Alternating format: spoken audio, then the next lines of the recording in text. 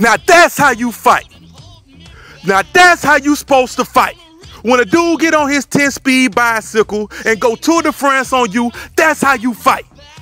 Gennady Gennadievich Golovkin displaying all the skills, ring generalship that you supposed to display when you are facing a boxer or mover. He did that. Everything Manny Pacquiao failed to do, you saw it on full display Saturday night. The man has got the goods. The question is now, when is he gonna step up the competition? That's my final critique of the man. We gotta see him in with somebody with a name, with the skills to push him and make him be great.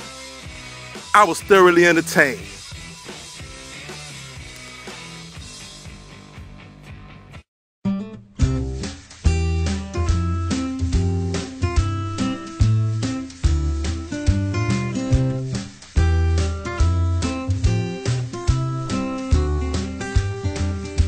I'll take down your fishing pole. The biggest epic fail I've seen in recent memory happen today in these playoffs.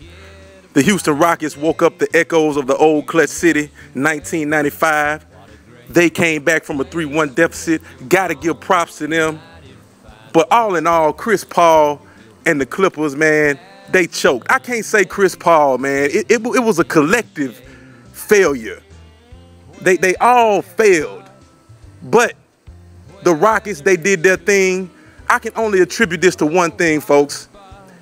And believe me when I say this, it was the curse of James Bowers. If he hops on your team's bandwagon, kick him off immediately.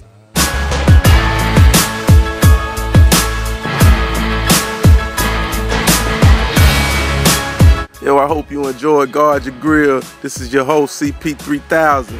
Until next time.